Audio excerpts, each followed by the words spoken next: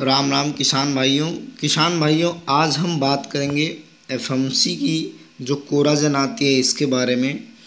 FMC की जो Coragen आती है, यह एक प्रकार का इंसेक्टिसाइड होता है, अर्थात यह एक प्रकार का कीटनाशक होता है।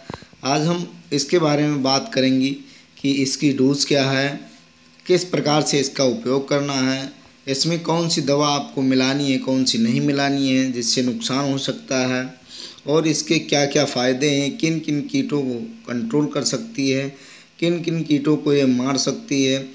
किस प्रकार फ़सल की सुरक्षा करती है? इन सभी चीज़ों के बारे में आप आज बात करेंगे। कोराजिन यह एक प्रकार का बहुत ही ज़बरदस्त इंसेक्टिसाइड होता है। बात करेंगे कि इसमें कौन कौन सी दवा आप न मिलाएँ। एग्ज़ाम्पल के तौर पर स्ट्रॉन्ग एल्कलाइज जैसे sulphur, mixing fungicide, barium, sodium, ammonium, calcium, lithium, potassium hydro oxide इस प्रकार के जो फंगिसाइड हैं या इस प्रकार की जो दवाएँ हैं, इनको आप इसके साथ मिक्स ना करें। इससे दवा का प्रभाव कम हो सकता है या दवा फट सकती है। उसके बाद में बात करते हैं कि कोराजिन जो दवा होती है, यह एफएमसी कंपनी की आती है। इस इंसेक्टिसाइड का आप फ्लावरिंग स्टेज पर पौधों पर स्प्रे नहीं करना चाहिए, क्योंकि ऐसा करने पर पौधों में फूल गिरने की समस्या हो सकती है कि फूल आपके फ़सलों में गिरने लगे। इस समय आप मार्केट में देखते हैं कि नकली व्यापार चल रहा है तो उसकी पहचान आप ज़रूर कर लें। बिना उसकी पहचान किए बिना आप पैकेट को ना खरीदें, क्योंकि ऐसा करने पर आपकी जो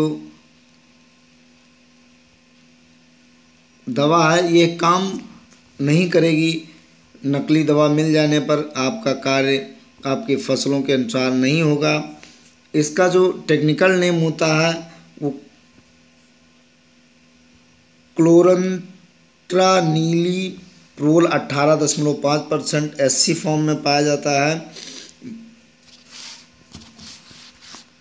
बात करते हैं कि ये किन किन कंपनियों की, अन्य कंपनियों की आप आती है इस, यही टेक्निकल तो ये बासप कंपनी की, वेस्टी कवर, धानका कंपनी की कवर के नाम से पीआई कंपनी की कॉस्को और यूपीएल कंपनी की संजी के नाम से आती है। किसान भाइयों या एक अंतर प्रवाही कीटनाशक ब्रोड सिस्टमेटिक इंसेक्टिसाइड होता है। ये कीटों की त्वचा में एक कैल्शियम चैन पाई जाती है जिससे यह इंसेक्टिसाइड उस चैन को पूरी तरह से तोड़ देती है, जिससे कीट पूरी तरह से पैरालाइज होकर मर जाता है। यह दवा कीटों के त्वचा के संपर्क में आने से सीधे उनके शरीर में प्रवेश कर जाता है। बात करते हैं कि फ़सलों में प्रयोग किन किन फ़सलों में इसका प्रयोग कर सकते हैं? इसका टेक्निकल नेम जैसा कि आप देख पा रहे हैं स्क्रीन पर क्लोरनट्रानीलीप्रोल अठारह दशमलव पाँच परसेंट होता है।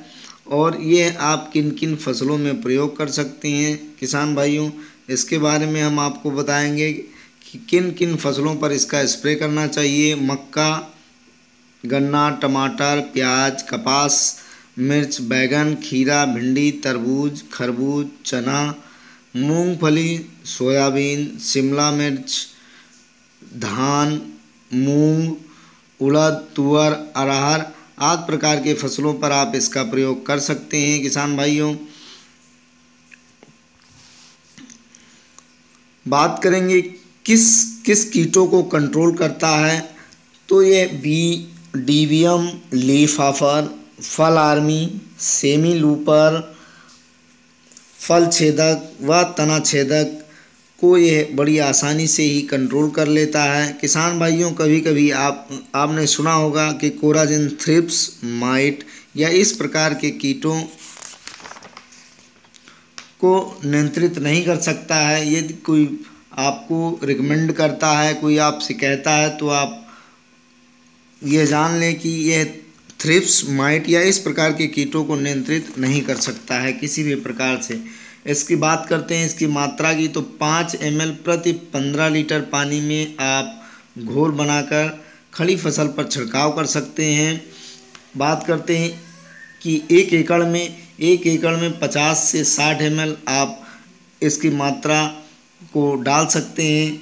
बात करते हैं कि यह इसका रेट क्या है? अन अलग अलग मार्केटों में इसका रेट अलग अलग हो सकता है, कीमतें कम ज़्यादा हो सकती हैं।